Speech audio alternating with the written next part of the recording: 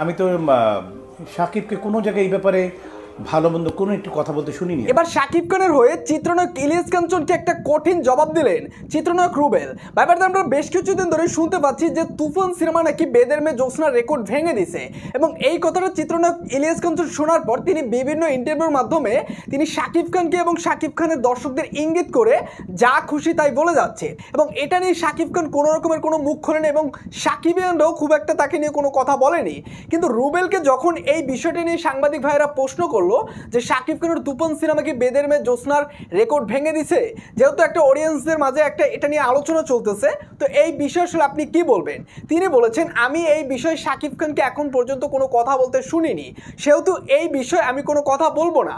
এবং যে সিনিয়র শিল্পী তাকে নিয়ে কথাগুলো বলতেছে, তাকে বলতে চাই শাকিব তো এই ব্যাপারে কোনো কথাই বলে নাই। তবে আমার কাছে চিত্রনায়ক রুবেলের এই কথাটা বেশ ভালোই লাগছে। যদিও রুবেল শাকিব খানকে নিয়ে নেগেটিভ কথা বলে, কিন্তু এখানে যে তিনি সত্যি কথাটাই বললেন, এটা ভেবে ভালো লাগছে। কারণ শাকিব খান তো তার নিজের সিনেমা নিয়ে আয়ের দিক থেকে কোনোদিন কোনো কথা বলে নাই এবং বেদের মেয়ে জ্যোৎস্না সিনেমা নিয়েও তিনি কোনোদিন কথা বলে নাই।